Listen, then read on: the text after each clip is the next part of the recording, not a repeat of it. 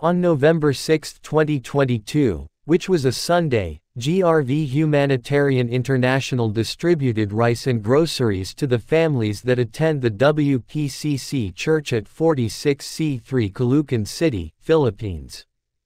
Everyone was in joyful spirit.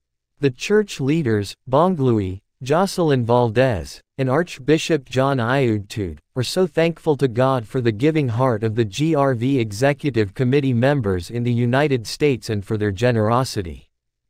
GRV Gold Rush Victory Retirement Program is such a great program and each Grove member automatically becomes a part of the humanitarian program that helps the poor around the world. GRV is truly God sent. WPCC outreach effort will do another project of giving rice and groceries to the poor at the end of this month including children feeding on the street.